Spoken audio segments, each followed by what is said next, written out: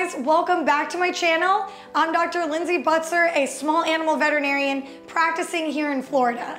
And today we're gonna talk about mega esophagus in dogs. So you probably landed on this video because your dog was just diagnosed with it or your friend's dog was. If you guys are looking just for the treatment of mega esophagus, use the chapter markers below and it'll take you right to that section.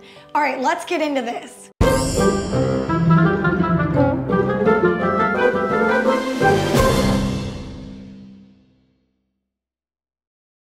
A dog with megaesophagus may present to the veterinarian with a wet cough and episodes of vomiting. They also may be weak, they may have weight loss, and they're also regurgitating their food. So an owner will explain that the dog simply can't keep their food down. They've been feeding them and the food just keeps coming back up. Your dog may also have had a chronically runny nose, which is from them regurgitating food that you might not have known.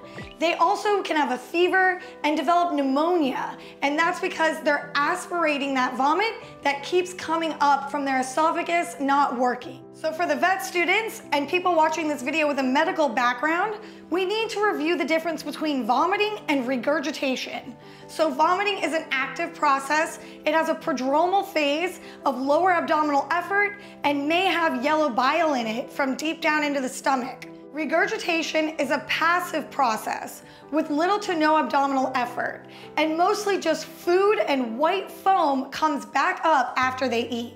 So the esophagus is a muscular tube that connects the throat or pharynx to the stomach.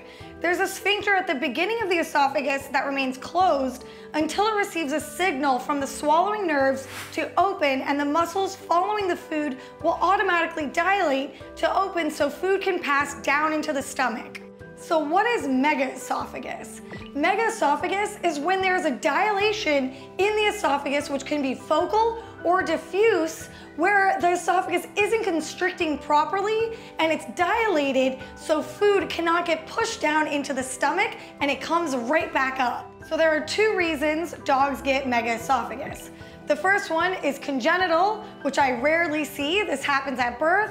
And then another one is acquired, which they can get later on in life. And this is the most common one that I see practicing as a veterinarian. Some other reasons why a dog can get megaesophagus includes a foreign body or something that gets stuck in their throat that puts pressure on those nerves and damages the esophagus nerves.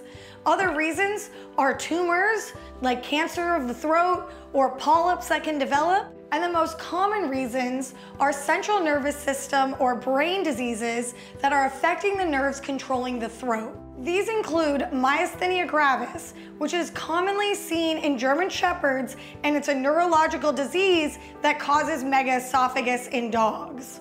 Another one is autoimmune diseases, where the body literally attacks the esophagus tissue, and we don't know why it does this. Hormonal diseases such as Addison's disease can also cause megaesophagus, and less common, botulism toxicity, lead toxicity, organophosphate toxins, which can be found in some flea collars. To figure it out can be quite expensive because you're gonna have to run a lot of tests on these dogs to find out why they have megaesophagus. So how is your veterinarian gonna diagnose megaesophagus? Well, it's tricky. The first thing is an x-ray. So we have to look at their chest and examine the esophagus to see if it looks severely dilated. And on that x-ray, you may also see that the trachea is displaced ventrally because the esophagus is pushing it down. In the x-ray, you will also see signs of pneumonia developing because a lot of these dogs are aspirating that fluid that's getting regurgitated up causing them to get pneumonia. The next step is doing a contrast esophagram and video fluoroscopy or barium swallow study to see abnormal pooling of barium in the throat. This can be dangerous if they aspirate the barium. So another compound called iohexol may be used if perforation is suspected, like if they swallowed a stick and you're worried that the esophagus has a hole in it.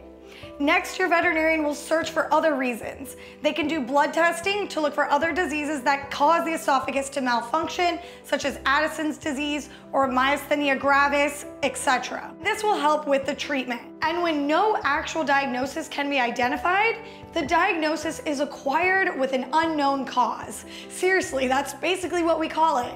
And that might be from age, the nerves in the throat could be degenerating in these older dogs, or they can acquire it from an autoimmune issue. So this is the typical case of megaesophagus that I see, is we really find no diagnosis for it. So finally, you've been waiting for this part of this video, the treatment for megaesophagus. And I've been waiting to tell you. So the main thing is we're dealing with pneumonia and we're dealing with a dog who keeps regurgitating. So that is what our treatment is gonna be around, is controlling pneumonia and controlling regurgitation. To treat their pneumonia, I always recommend culturing their mucus first to see what antibiotics to use. I then like to initially hospitalize these patients and monitor how much they're regurgitating because they're gonna have fluid loss.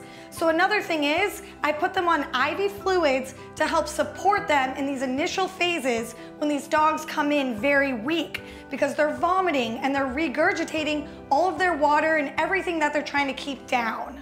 So that brings me to how we're gonna be feeding these dogs. Part of some treatments for megaesophagus is using prednisone or steroids if the dog is diagnosed with myasthenia gravis or Addison's disease. But you really need to use steroids with caution because these dogs are battling pneumonia. And as we know, steroids lower the immune system and can make their pneumonia worse. So that is really a difficult thing when trying to use steroids to treat their megaesophagus. So the most important thing is getting weight on them with special feeding techniques and keeping them hydrated. So these dogs with megaesophagus need to eat in an upright position, 45 degree or a 90 degree angle.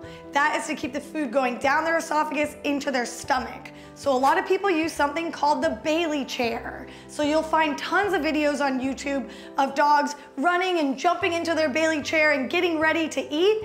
And they're so excited. I saw a couple videos of a lab, um, a German Shepherd, and then the owner is bringing them the food. So what do people do is they're gonna make liquid slurries or a gruel for their dogs. So you'll see videos on YouTube of them having a blender, putting in uh, water, a can of wet dog food, maybe some chicken or some meat to get protein in them. And then they go and hold the, the bowl of that dog food slurry for them. The dog laps it all up and then they have to sit up in their chair for 10 to 15 minutes. And that is a really important thing because the food needs to go down into their stomach. If you put them back down on all fours, they're gonna just regurgitate. So it's really important to take your time. So keeping these dogs alive is a project. Um, it's a lot of work and owners have to have a lot of patience with dogs with megaesophagus. So I just explained to you about the feeding, but before I made this video today, I actually called my dad, who's been a veterinarian for 40 years, and told him I'm making a video on megaesophagus today. And the first thing he says like, oh, this is a bad disease. And I know that too, so we're gonna get into the prognosis and how long dogs live. But he did say some dogs can live up to a year with this disease. But sadly, most of them only live about 90 days was the mean survival time. But we chatted about it, um, and he said if they really stick to these feeding regimens, they keep the dogs upright, um, they feed them a gruel, maybe some of them even give them sub-Q fluids, um, fluids under the skin at home, which you can buy a bag from your veterinarian to keep your dog hydrated. This can keep them going longer. And then also preventing pneumonia, um, maybe even putting them on vitamins like vitamin C or turmeric, boosting their immune system because the main thing we're battling is pneumonia. And that is why these dogs only make it 90 days. They get antibiotic resistance and their chest is full of pus and pneumonia from regurgitating. So that's what really ends up uh, killing these dogs is they can't keep food down, they're getting weight loss, they have chronic pneumonia, and at a certain point, owners are just like, this isn't a quality of life for the dog. And that might be something you're battling right now, and that's why you're on this video. But my dad, Dr. Butzer, said some people keep them going for a year. And it all depends on what type of megaesophagus your dog has. What if they have a focal one and it's not the entire esophagus? those dogs aren't gonna regurgitate as much. So you have to keep that in mind that your dog might live longer um, than So to give you pet owners some more advice, um, I like to give them famotidine, which is an antacid to help with their stomach, and also GI prokinetics, such as ranitidine, which helps GI motility to move things down, helps with digestion. And then another one is sildenafil or Viagra, and this relaxes smooth muscle to help the esophagus dilate and food stay down into the stomach. So those are just a couple other things you guys could do.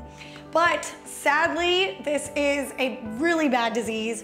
The prognosis is super poor, um, but I made this video to help educate pet owners, uh, veterinary students who are learning about this disease, and it's a common one, so I wanted to come on YouTube and talk about it.